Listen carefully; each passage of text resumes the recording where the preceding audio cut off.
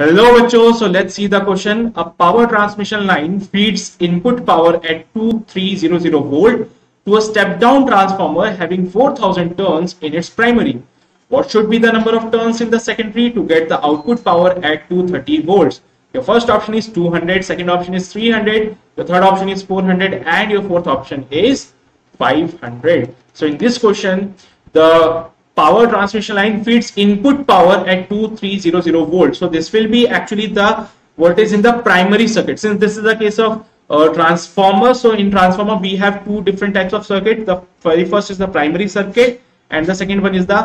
secondary circuit okay तो एक तो होता है प्राइमरी और एक होता है सेकेंडरी तो जो आप इनपुट दे रहे हो वो प्राइमरी पे होता है जो आउटपुट आपको मिलता है वो सेकेंडरी पे मिलता है फाइन तो ये इनपुट वाला पार्ट है यानी कि प्राइमरी सर्किट का वोल्टेज है 2300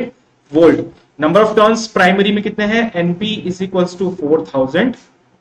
और what should be the number of turns in the secondary तो सेकेंडरी में मुझे नंबर ऑफ़ टर्न्स बताने कितने होंगे, जिससे कि आउटपुट मुझे मिलता है 230 वोल्ट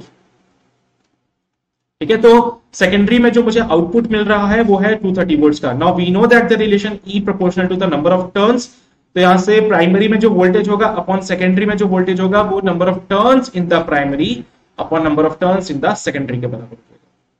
इसको फर्दर सिंप्लीफाई करते हैं so 2300 upon 230 is equals to 4000 upon number of turns in the secondary so zero से जीरो कैंसिल आउट हो गया एक जीरो से ये जीरो कैंसिल आउट हो गया 23 से 23 कैंसिल आउट हो गया so number of turns in the secondary comes out be 400 so here 400 which is in option number C is absolutely correct and I hope you got the concept of this question all the very best